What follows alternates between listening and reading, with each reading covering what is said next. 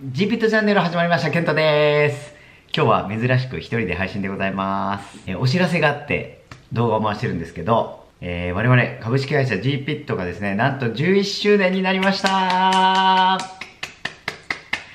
えー、改めまして日頃お世話になってる皆様、あと GPIT ご利用いただいた皆様と、この GPIT チャンネル含めていつも応援してくださってる皆様、本当にありがとうございます。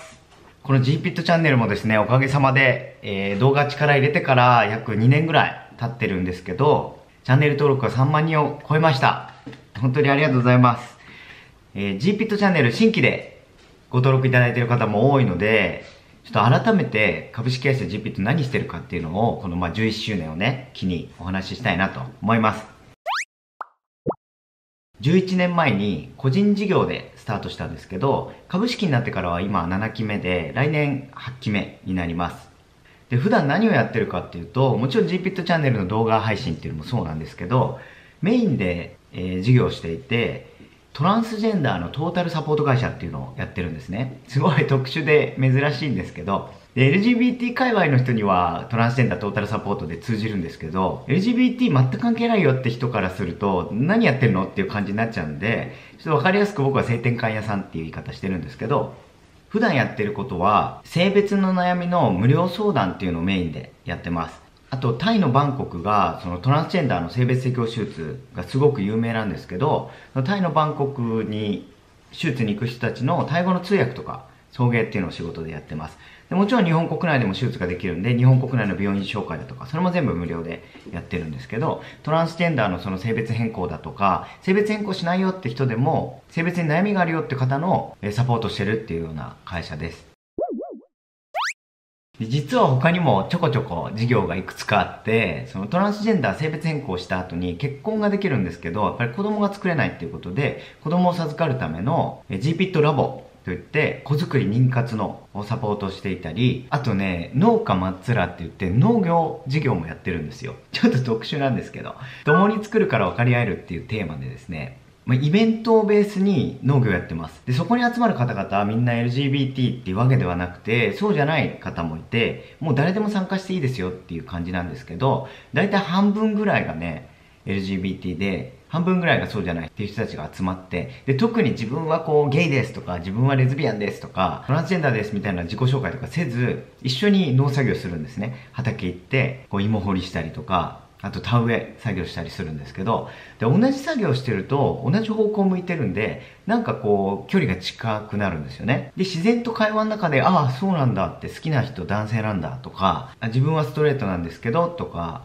自分たちで言うのもあれなんですけど、すごくいいイベントをやってます。今ね、コロナでちょっとイベント自体が閉まっちゃってるんですけど、来年ぐらいには始めたいなと思ってる次第でございます。で、そんなようなことを11年間やってきた会社です。で、あと、もう一個ね、企業さん向けとか、あの、学校とかですね、教育現場向けに LGBT 研修、LGBT 講演っていうのをやってるんですね。で、僕がもともと農業事業を立ち上げるときに茨城県に2年間、あの、移住して住んでたんですけど、まあ、そこでつくばにお世話になっていて、すごい僕の中で好きな場所なんですよ。で、そのつくば市さんから LGBT 研修の依頼が来たので先日行ってきました。で、その動画をですね、ダイジェストにギュッとまとめて撮ってきたんですね。いつも GPIT チャンネルでお話ししてる感じじゃないんですけど、普段仕事どんなことしてるかっていうのを少しお見せしたいなと思います。はい。ということで、概要欄にですね、株式会社 GPIT のウェブサイト貼り付けてあります。そこに性別の悩みの無料相談フォームも貼り付けてあるので、えー、ぜひぜひお気軽にご相談ください。本当に小さなことでも構いません。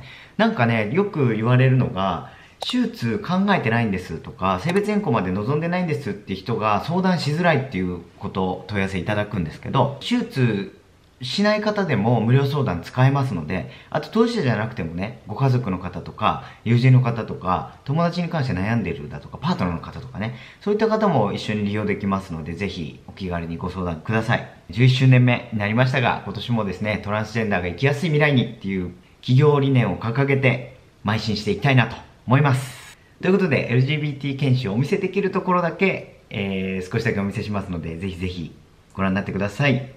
どうぞ。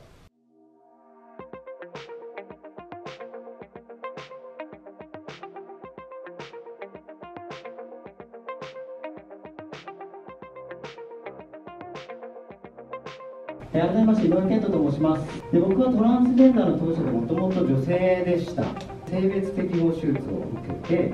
具体的には胸を取る手術をしました。あと子宮卵巣の全摘出をしました。戸籍上の性別が女性から男性に関わっていてでちなみに染色体今でも女性です。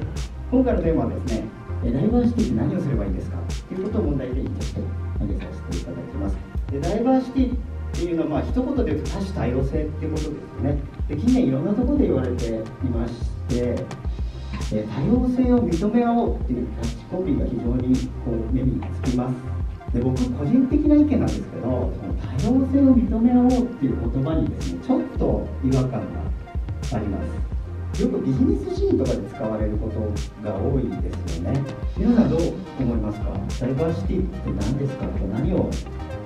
すればいいですかって聞かれた時どうお答えしますかもっと言うとダイバーシティって何で必要なんですか？で今日ですねこれをこの講演の最後にですねまとめとして僕の答えを皆さんにお伝えします。なので、まあ、誰が正しいとかこう何が正しいっていう話ではないんですけれどもまたこう LGBT の今日話になるんですけど LGBT だけじゃないじゃないですかダイバーシティって。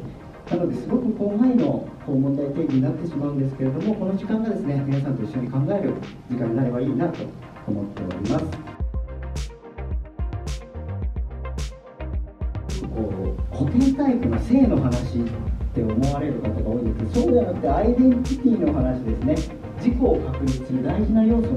お話です。趣味思考とか保険体育の話ではないんですね。でアイデンティティの話ができない自分を隠して生きることって非常に苦しいです。僕が思うダイバーシティっていうのはもっともっと身近で当たり前の一人一人の意識的な内面的なものだと思うんですね